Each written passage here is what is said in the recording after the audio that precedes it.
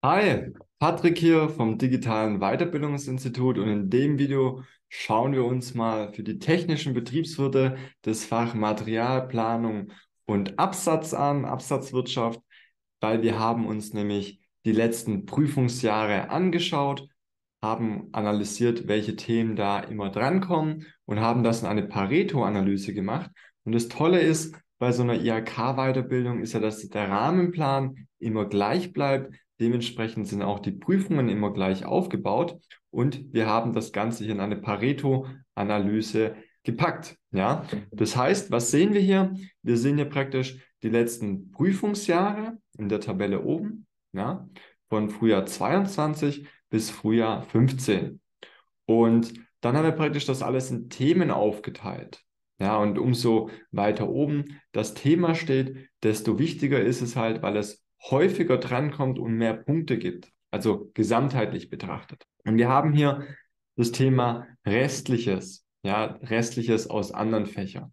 Ja, weil bei Materialplanung und Absatzwirtschaft, da haben wir halt ein paar Themen, die sich halt nach dem Rahmenplan noch überschneiden. Die sind auch schon in anderen Fächern unterteilt worden, wie zum Beispiel strategische, taktische und operative Planung. Das sind dann so Sachen, die sich hier wieder wiederholen. Deshalb ist das hier einfach als restliches zusammengefasst. Ja, weil wir haben einfach gesagt, okay, es macht jetzt hier keinen Sinn, nochmal einzelne Themen aufzuführen und dann da die Tabelle hier anstatt ähm, elf Spalten, ähm, elf Zeilen, 20 äh, Zeilen groß zu machen. Das heißt, das sind so Themen, wo wiederholt wieder sich wiederholen. Ja, da ist zum Beispiel auch eine Nutzwertanalyse schon dabei gewesen, was natürlich auch in Finanzierung und Investitionen schon abgearbeitet worden ist. Der nächste große Block das ist Marketing. Da gibt es Marketinginstrumente, Marketingstrategien und du siehst praktisch, Marketing hast du immer eine Aufgabe. Ja, also einmal gab es keine Aufgabe drinne, beziehungsweise das war dann eine Überschneidung aus restlichen drinne, deshalb war das hier so stark gewichtet,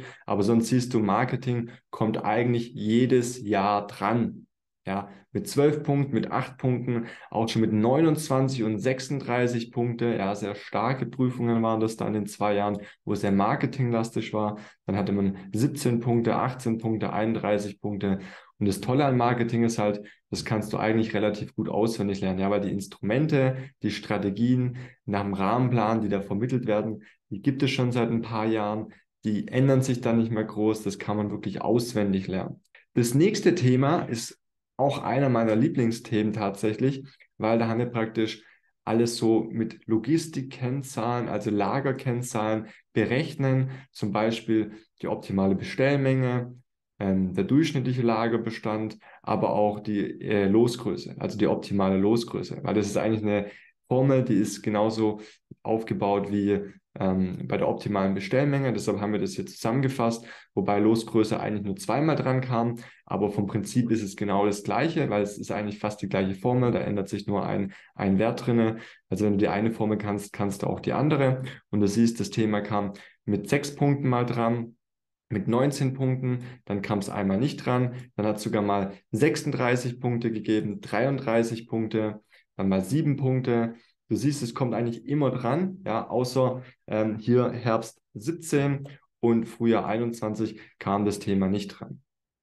Und dann haben wir das Thema Beschaffung, ja, also Beschaffungsstrategien, Beschaffungsmethoden, ja, äh, Beschaffungskonzepte, wo du siehst, es kommt eigentlich fast jedes Mal dran, außer dreimal kam da war da kein Schwerpunkt drauf. Ja, wir haben ja auch die ABC und XYZ-Analyse, dass man weiß, welche Güter man wie beschaffen soll, um da die entsprechenden Strategien auch festzulegen. Und ja, du siehst schon, wenn du jetzt diese vier Themen richtig kannst, dann hast du knapp 70 Prozent eigentlich immer durchschnittlich von deinen Prüfungen erreichen können schon. Also es sind schon sehr, sehr ähm, wichtige Themen hier. Dann haben wir praktisch noch ein Thema Recht. Recht da geht es jetzt gar nicht so tief rein wie bei Recht und Steuer bei den Fachwirten. Ja, also Recht ist eher so, wie kommt ein Vertrag zustande? Ja, prüfe, ob da ein Vertrag zustande gekommen ist. Durch zwei übereinstimmende Willenserklärungen. Ja, dann gibt es unter Abwesenden, unter, Abwe unter Anwesenden und unter Abwesenden. Ja, und das musst du wissen. Bringen wir dir in unserem Kurs auch bei, dann kannst du das Ganze. Ja, kommt jedes Mal dran, Dreimal kam es tatsächlich nicht dran, Frühjahr 20, Herbst 19 und Frühjahr 15. Aber sonst siehst du, es gibt eigentlich immer so zwischen 27 Punkte, ja, einmal gab es auch nur sechs Punkte. Dann haben wir das ganze Thema Fertigungssteuerung, ja, also Aufträge zu priorisieren, Fertigungsverfahren und Fertigungsplanung, ja, was, wo man merkt schon, hier gibt es sehr viele Lücken in dem Bereich. Das kommt nicht jedes Mal dran. Ja, aber wenn es dran kommt, dann sind es schon so 21 Punkte, 9 Punkte, 10 Punkte, 14 Punkte. Dann haben wir Schutzrechte. Schutzrechte wie zum Beispiel ein Patent, Gebrauchsmuster oder Geschmacksmuster, ja, wie lange da praktisch die Laufzeiten sind, was auch die Anforderungen sind von solchen Schutzrechten. Die solltest du kennen und abgrenzen können, kannst du aber auch in deinem Buch dann, was du in der Prüfung verwenden darfst, praktisch abschreiben. Ja. Dann haben wir ein Thema Incoterms. Ja, Incoterms ist halt etwas, da gibt es immer mal wieder auch neue, andere Incoterms. In der Regel werden hier aber auch nur die gängigsten in der IHK-Prüfung abgefragt, wie zum Beispiel Ex-Work, also Abwerk. Gibt zum Beispiel 6 Punkte, 16 Punkte oder 12 Punkte. Dann haben wir noch Kennzahlen. Ja, also Kennzahlen natürlich, äh, sage ich mal, welche Kennzahlen es gibt. Siehst du, gibt zum Beispiel nur 5 Punkte, 16 Punkte, kommt jetzt gar nicht so häufig dran. Und dann haben wir halt nochmal ein Thema, wo zweimal dran kam, Stückkostenrechnung, weiß ich auch nicht, was die IHK sich damals gedacht hat, kam auf jeden Fall zweimal mit zehn Punkten dran, was aber auch ein bisschen so Wiederholung aus Rechnungswesen war. Ja, hätte man auch hier nochmal zusammenfassen können, aber wir haben das halt einfach separiert. Und das ist einfach wichtig, dass wenn du eine Weiterbildung machst, dass du halt ganz genau weißt, welche Themen drankommen und dass du ganz genau auch diese Themen richtig kannst. Die wichtigsten, natürlich solltest du bitte niemals auf Lücke lernen, ja, weil wenn du mal auf Lücke lernst, dann kann es natürlich auch sein, dass du eine Aufgabe hast mit 20 Punkten. Ja, wenn du jetzt, sag ich mal, Fertigungsplanung hier auf Lücke gelernt hast und das nicht gelernt hast, hast du halt 20 Punkte nicht erreichen können. Aber du solltest halt ganz klar dich auf diese oberen Themen fokussieren. Das ist das Wichtigste. Das muss sitzen, wenn du in die Prüfung gehst. Ja, mhm. Die anderen Themen sollte man dann zweitrangig oder mit Priorität 2 lernen. Und so siehst du halt praktisch, dass es in jedem Fach Themen gibt, die besonders wichtig sind und Themen gibt, die jetzt nicht so wichtig sind, ja, aber die sollten halt nicht vernachlässigt werden. Genau, ich hoffe, das Video hat dir gefallen und wenn auch du dich einfach und erfolgreich zum technischen Betriebswirt weiterbilden willst, dann hast du natürlich die Möglichkeit, in einem Erstgespräch Kontakt mit uns aufzunehmen. Kannst du über die Webseite machen. Den Link findest du auch unterhalb von dem Video.